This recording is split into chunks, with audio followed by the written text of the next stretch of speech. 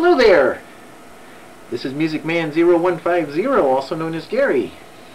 And uh, I thought I would give another demonstration of my Ensoniq keyboard.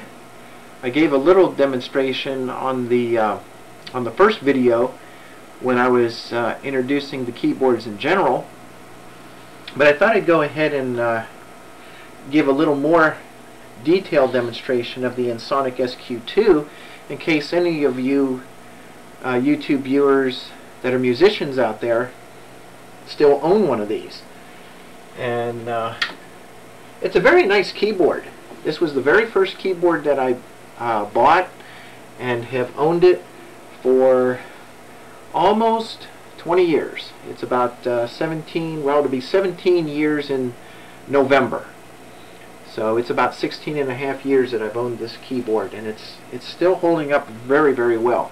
I've had the uh, battery changed on it twice because uh, they only last probably about six, five, six, maybe seven years at the at the most. So um, as far as uh, service goes on it, that's the only thing that's been done with it is the battery being changed. Uh, that keeps the memory. So when you turn the unit off, everything stays intact. Your sequences or your sound banks, they stay intact. You don't have to reload them every time.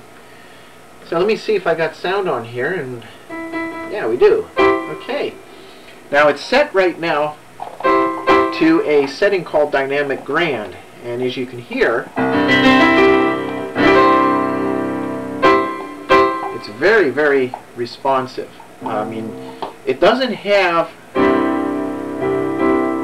it doesn't have the uh, full velocity that like uh, the modern keyboards today have. But as you notice, when I'm hitting soft, the notes are soft, and when I hit loud, the notes are loud. So basically, it does have the real velocity feature. So that's that's actually good.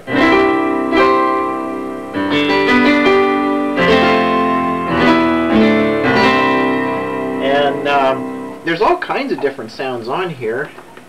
Uh, here's a classic grand.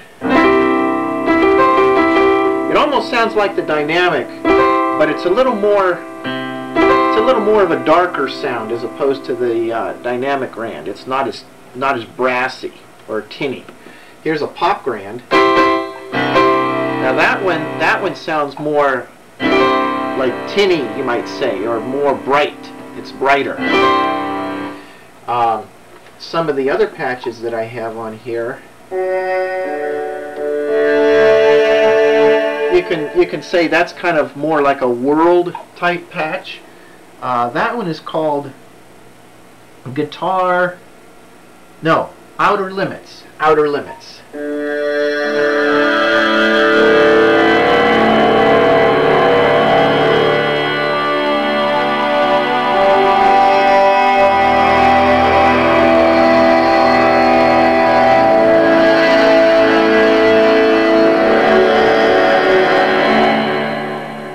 Kind of, it's uh, it's a little bit harsh. It's it's more like if you're trying to create uh, world music, you know, probably like from uh, the style that they use in China or Italy or something like that. That's probably a good uh, sound patch for that. Here's a brass uh, sound with a little bit of a saxophone in there too.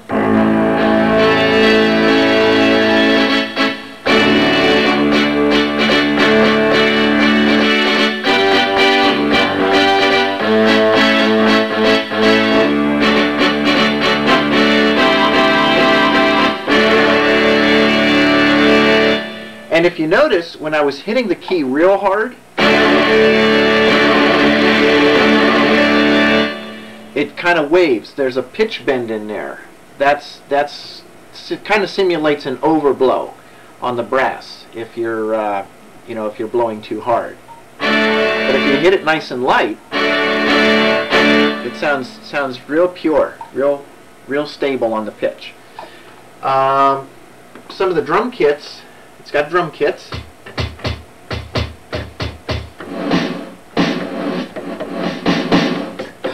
This one is called um, a big old rock kit. And as you notice, a lot of these uh, kits on this particular keyboard are laid out uh, a lot differently than your general MIDI drum kits are laid out. So if you're trying to if you're trying to play a general MIDI uh, file through the Ensoniq SQ2, um, it's not going to work with the internal drum kits. What you have to do is you have to go into the edit mode, the sound edit mode, and you have to assign a key, a specific key for that instrument in order to make it compatible for general MIDI uh, drum kits.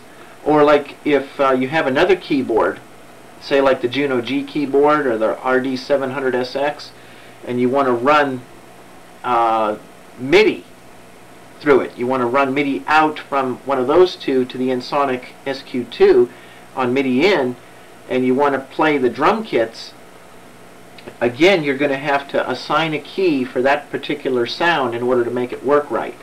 So I've done that and I've got the uh, sound settings even backed up on a floppy disk and just want to show you the difference between the general MIDI kits of today and what you just heard.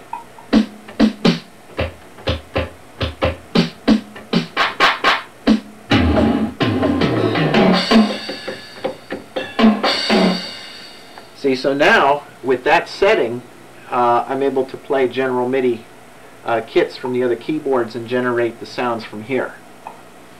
Um, I did have to split it though because the memory back at that time was very limited.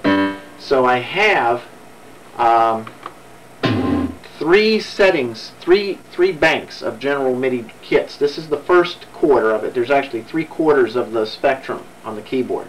This is the first. Right there it stops. So I got another setting that continues that from here. See, that's the second setting I had to use. Okay, and then notice right there, it ends again, so I had to make a third uh, user setting. Oops, wrong setting. There we go. So here's the third setting of the of the MIDI kit that I created on here.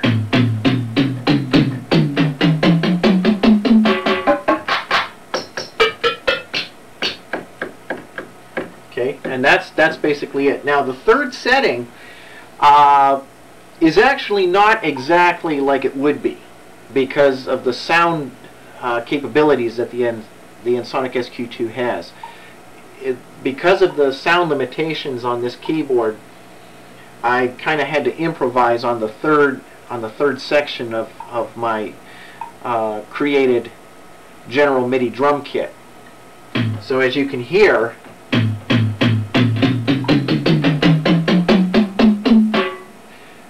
most of those keys are like one sound but different pitches